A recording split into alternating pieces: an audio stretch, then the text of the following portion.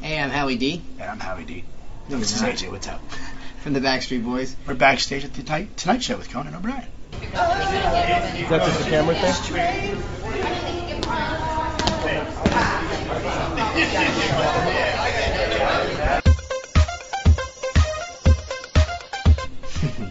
No. We, I mean, we obviously realize that when you make a new record, there's a lot of things that go into making a new record, especially promo. And promo is probably the most grueling part of our schedule. Um, a lot of flying, a lot of traveling, a lot of different countries, different cities on a daily, you know, day-to-day basis. Once you're on tour, that's the best part, because then you're in, you're in in your own element. You're on your bus. You're got a kind of good regime going on every day, more continuity.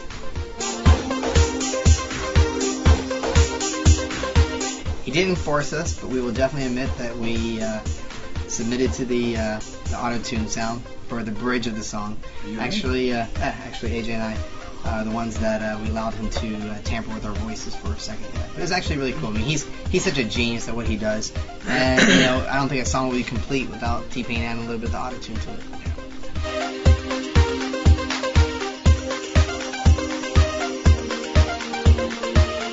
trying to meet us. We had a fan stow away on our tour bus once. Um, we had a fan hop a barbed wire fence. I think it was in Spain somewhere, just kind of hanging out in the dressing room, cut jeans, bleeding, just waiting for us to show up. Fans just do the darndest things.